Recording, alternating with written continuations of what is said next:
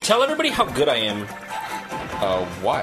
I thought you loved me. I don't know. Well, I do. I just wanted to know why you want me to tell everybody. I don't know. Sometimes it feels good to have someone just sing your praises. You know, I mean, not not everybody's a s- big, strong ox like you. Emotionally, sometimes some of us it gets to us. Okay, we need to hear something good about ourselves to feel okay. All right, fine. You have good arms. You mean it? I mean it. And I don't mean it to be mean. I mean it to mean it.